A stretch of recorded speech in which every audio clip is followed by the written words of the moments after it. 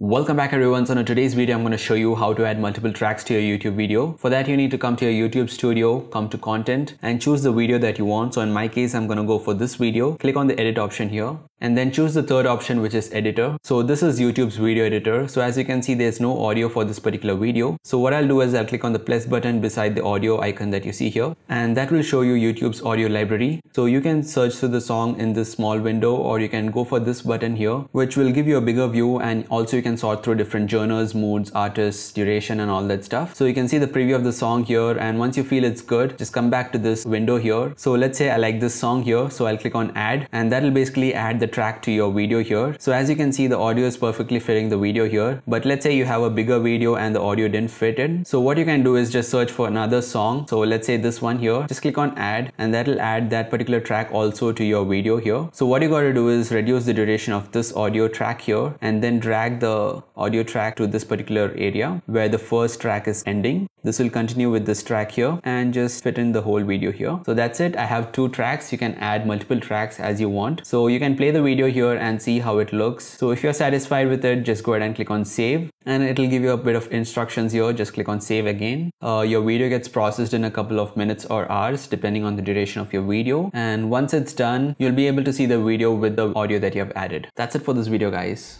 And as always, if you like the video, please give us a thumbs up, subscribe to the channel, and don't forget to click the bell icon. Thanks for watching.